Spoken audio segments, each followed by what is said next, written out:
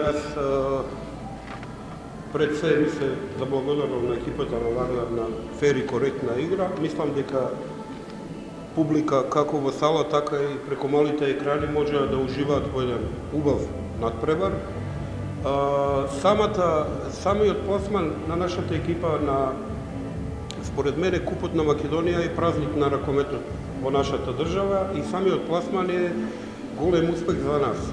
А, сметам дека изигравме коректен надпревар, а, се подготвувавме да дадеме максимум. А, екипата да на Вардар е многу далеку, далеку по квалитетна од нас. Ние имаме многу млади играчи и през цела недела се фокусиравме да ги намалиме тие технички грешки и да ја подобриме реализацијата.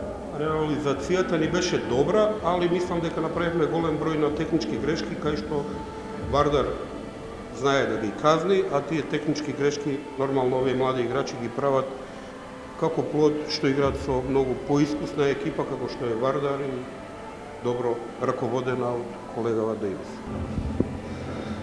Да им, да им честитам на Вардар за победата. Како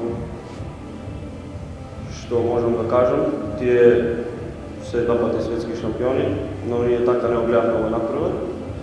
Се справавме скоро на неделата, да што кажа тренерот, да ги намалиме тие технички грешки.